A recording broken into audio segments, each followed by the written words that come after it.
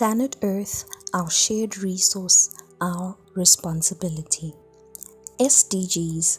What are those? Well, let's paint a picture of what this whimsical tale is about in the land of South Africa at the University of Johannesburg. Snow White and the Seventeen Dwarfs, the kingdom's conquest of reform.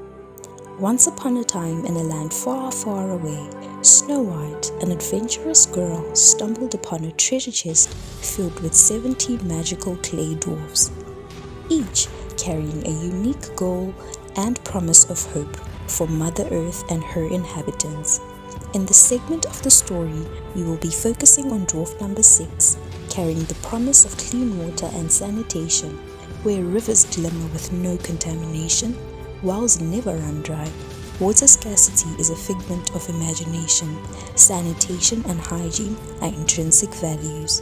In South Africa, progress towards SDG 6 has seen notable achievements and UJ has made notable strides towards achieving the SDGs, so much so that it has attracted global recognition for its efforts. In terms of contributing to the promise of hope offered by Dwarf Number 6, aka SDG 6, did you know that borehole water is used in all four campuses and usually exerts great force on treating wastewater to minimize pollution and ensure high water quality?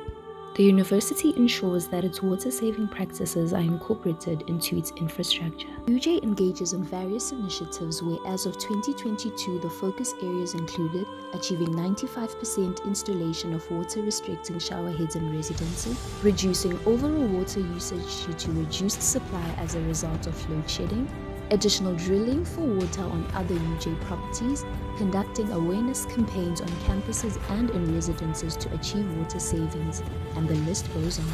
In order to come up with a contribution that will be significant in magnitude and effect, UJ will require an integrated solution that incorporates implementation of water-related policies, education, research, student and community engagement, as the university advocates for policies that promote water management, collaboration with various levels of government and more organizations that advocate for water management would be effective.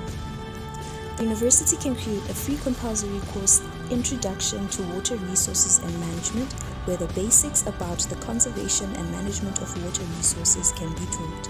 UJ can consider offering a postgraduate degree in hydrology for students in the games department, engineering, and other relevant courses. In the end, Snow White cared dearly for the 70 magical dwarfs, for their promises were no fairy tale. They were our shared destiny, a blueprint for a better world.